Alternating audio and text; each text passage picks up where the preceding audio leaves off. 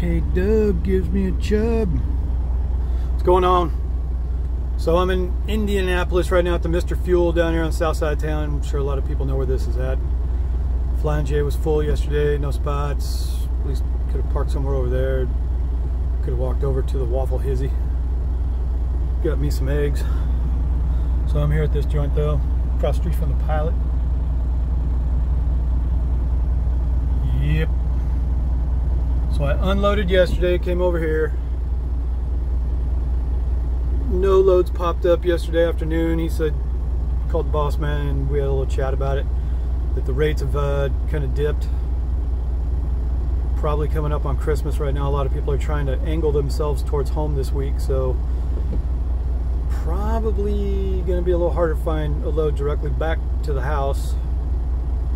Because of course Selena made some plans, so she wants me to. Uh, she wants me home. I guess she was saying she wanted me home by the 22nd. So, got up a little while ago, made some coffee in my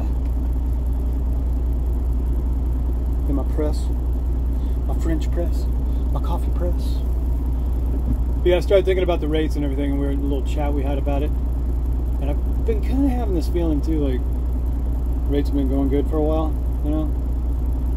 And typically after first of the year, like this year it didn't happen. First of this year, I guess, uh, rates did not go down. Work stayed abundant through the winter.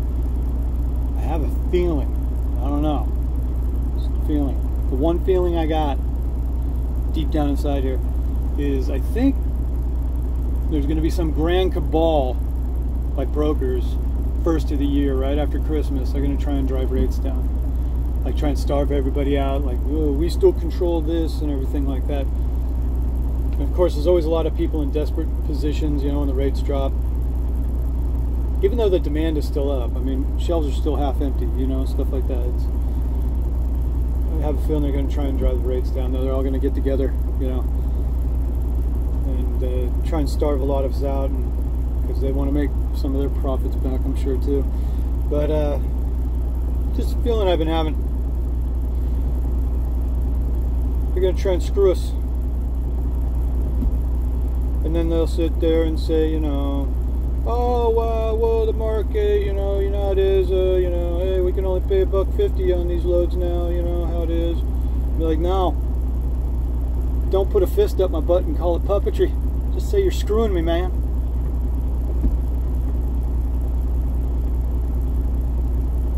Mean, that's my feeling on it.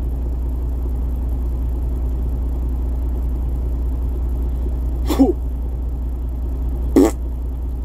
That's about it. Checking in from Indy.